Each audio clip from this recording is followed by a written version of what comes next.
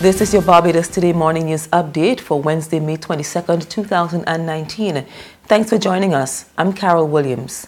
The opposition is not buying government's defense for contracting the services of White Oak Consultancy to restructure the country's foreign debt. Just days ago, Chief Economic Counselor Ambassador Dr. Clyde Mascoll stood by the decision and argued that local expertise wasn't available. There has been condemnation of the 27 million US dollar fee Yesterday, opposition spokesman Scott Weatherhead told the media that the process was far less than transparent. Whether there was the experience locally to tender on the debt negotiation, that may be so, but we never saw a tender.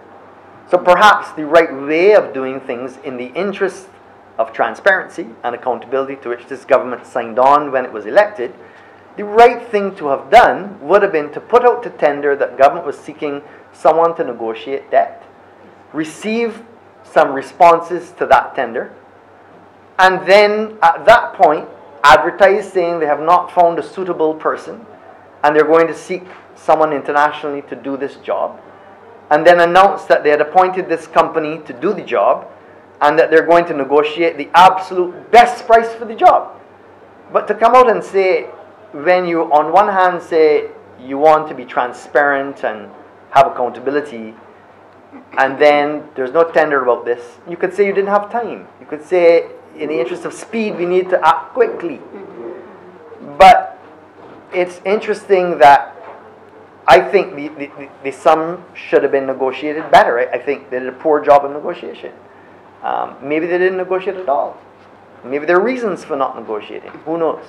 A Canadian investor has thrown his hat in the ring. Founder and CEO of the Toronto-based Green Stripe Naturals, Wayne Isaacs, has declared interest in working with Barbadians supplying the medical cannabis industry. Isaacs' company is already doing business in Jamaica, and he sees similar opportunities in Barbados. Our main goal uh, in the cannabis industry is to produce sufficient enough cannabis uh, uh, from the Caribbean region so that we can start looking at the export markets uh, across the world. Okay?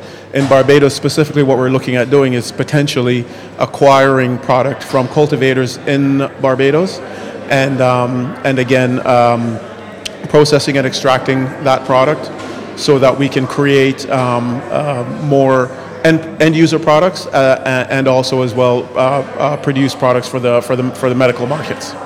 Co-founder and editor emeritus of the Nation Publishing Company Limited, the late Harold Hoyte, will be laid to rest in an official funeral next Monday at the Garfield Sobers Sports Complex. It begins at 10 a.m. Prior to that, between 8.30 and 9.45, his body will repose for viewing at the same location. The interment will follow at Coral Ridge Memorial Gardens. First, she was retrenched in November last year. Then she started her own company and became an advocate for retraining and retooling of other retrenched workers.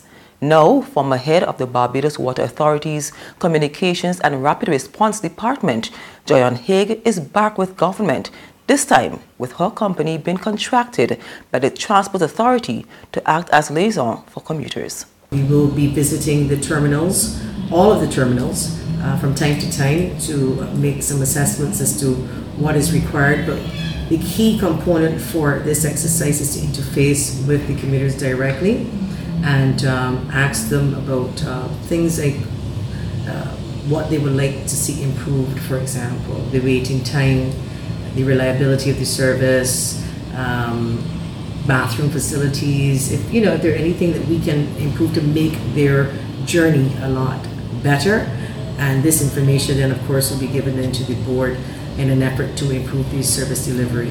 So it's about transport. This is basically what we've been contracted to do, to speak and liaise with the commuters directly as it relates to transport in its entirety. So we do look forward to meeting them and we look forward to working with the Transport Authority on this uh, project. And I think it will be pretty successful given all that I've seen and the different things that have been put in place by the Ministry of Transport. I trust that the program will be a successful one. There's regional and international news after this short break.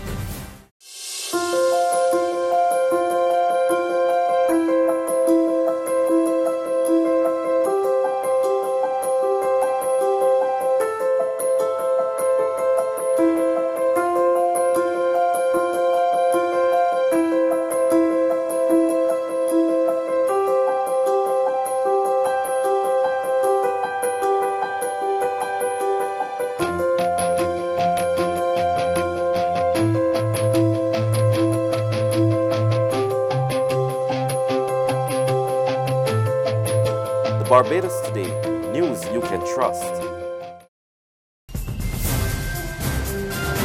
In Guyana, some residents are praising the police after three alleged bandits were killed in a shootout with a lawman. One of those killed was wanted for a double murder. More from Capital News.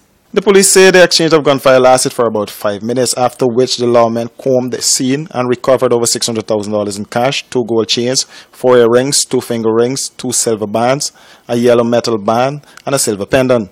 The police also recovered five cell phones, a solar charger, torchlight, score bars, a knife and cutlass, a flash drive, topes and masks, duct tape and gloves, and 200 grams of cannabis. Residents said they can now breathe a sigh of relief after fear gripped the community following a spate of robberies over the past week. Some of the residents were heard saying they would sleep better at nights as they continued to shower praises on the police.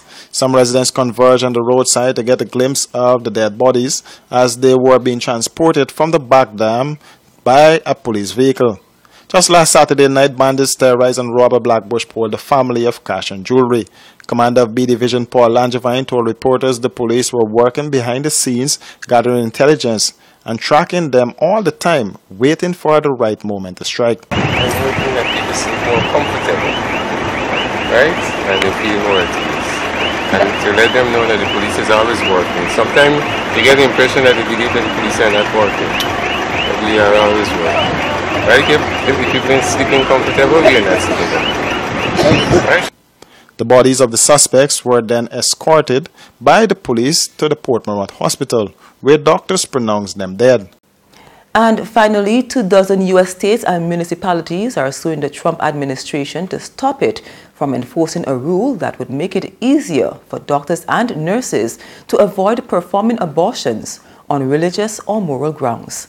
A lawsuit led by the New York Attorney General says the expanded conscious protections could undermine the ability of states and cities to provide effective health care without jeopardizing billions of dollars a year in federal aid. It also says the rule will upset legislative efforts to accommodate workers' beliefs while ensuring that hospitals, other businesses, and staff treat patients effectively. The rule is scheduled to take effect on July 22nd. And that's news, but for the very latest, visit our website at www.barbadostoday.bb. You can also subscribe to our e-paper, email updates, or like us on Facebook. And sign up for breaking news alerts via WhatsApp. We're also on Izumi Media in bus terminals, as well as screenplay at supermarkets and gas stations near you. You can also hear us on Mix 96.9 FM and Capital Media HD 99.3 FM.